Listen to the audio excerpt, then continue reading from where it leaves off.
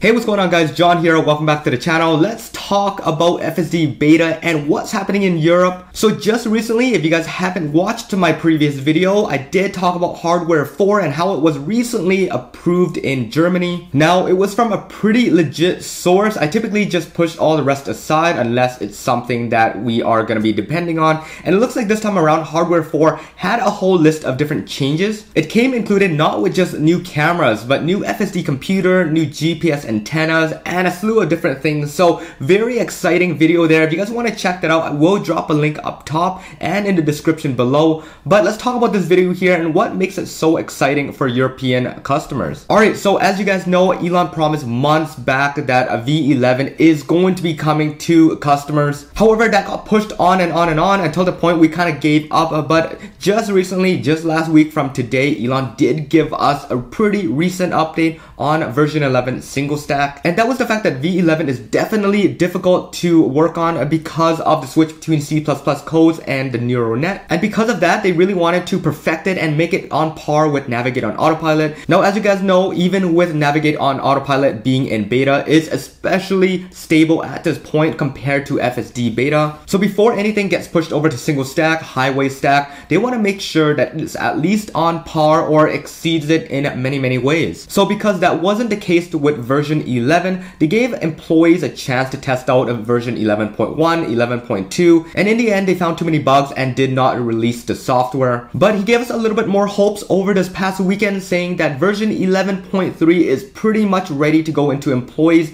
and limited beta testers. And that means that 11.3.2 is gonna go into wide release. All of North America is gonna get a chance to have it in their vehicles. And this is gonna be the single stack version where you can go on the highways and the lanes still stay exactly the same. It will do maneuvers on its own right now instead of asking for confirmation. And a bunch of the interesting things that you see on city driving is going to be implemented in highway driving as well. I think the biggest upgrade to all this is that it's going to be including the occupancy network. So that means that if a UFO landed on the freeway or the highway, it is going to be able to avoid it. So that's going to be the best part of it all. But if you want to be a little bit more realistic, if a bird or a rock or something lands, or let's say a truck drops something on the road, your Tesla is going to be able to avoid it, whereas Navigate on Autopilot would not be able to do that. Alright, so with all that aside, with FSD Beta and all this goodies, let's talk about European customers. I know you guys have been left out on all this good stuff lately, and you guys have been dealing with just purely the old codes with FSD, Navigate on Autopilot, and just typical Autopilot. At this point, it really kind of sucks. It doesn't do anything more than lane keep assist on other vehicles, and in some cases,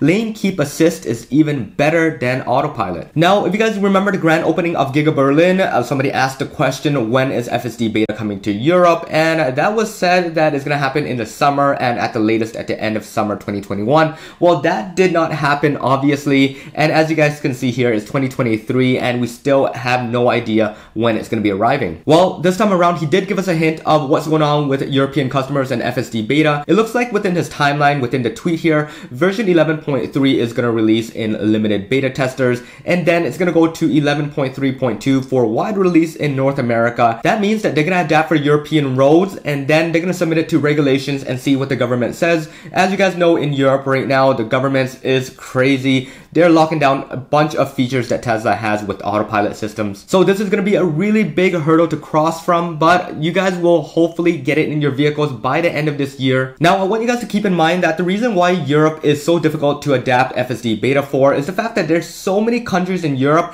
and imagine all the different languages and all the different types of roads. Now, if you guys take a look at the UK, you guys will notice that it's very different from other surrounding countries and that alone is already very difficult. The driving experience is on the opposite side of the lane and you guys know with the parking situation how they park on the sidewalks instead of just driving and parking on its own driving space. So this is where the occupancy network is gonna have huge problems because it will decipher between where is the drivable space and where is not. And especially that the lanes are very narrow, there's cars parked right in the lane and you have to cross over to the side past the yellow lane to get across from it. It kind of doesn't make sense and this is where the situation comes in where they have to really adapt to the roads and sort of disobey the law to be able to drive in that space. And I don't know how other European countries differ, but this leads us on to worldwide release, which he did mention in the tweet as well. And this is where I'm going to be talking about it in another video, but there's so many different countries out there that don't obey the law at all. And Tesla really has to make FSD disobey the law and obey the law at the same time. And this is where the complication comes in and human really disobey the law a lot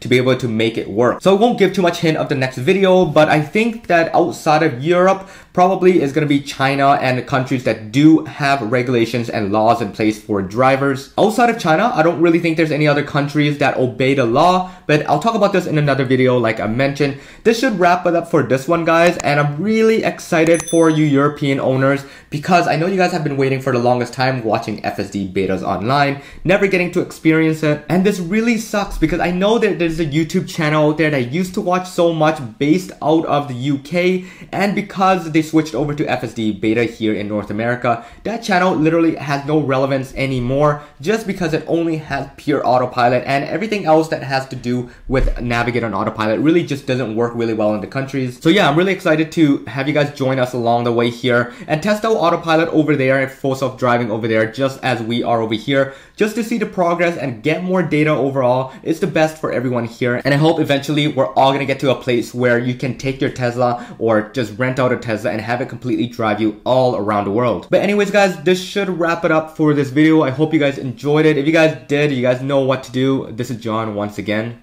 Peace out.